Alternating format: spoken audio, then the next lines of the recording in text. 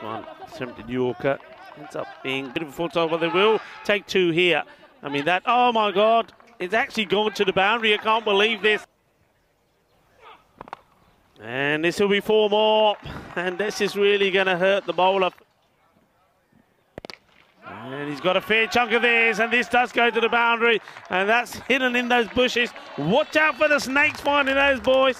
But uh, good shot. It was just five. We'll run a ball off the over until the last one, and that's gone big. Just a little bit too short, and he's onto it quickly. 11 come off that over. Slow delivery, and oh, fingertips just over the keeper here. And uh, Ismail Zia, he can't do any more about this. He's uh, jumping as high as he can, but he can't stop it.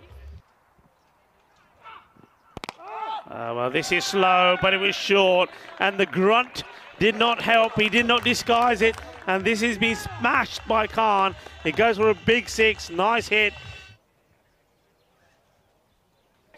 As this is edged away, it'll probably go to the boundary. It does.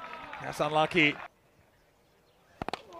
Hits this well, and the fielder can't do anything about it.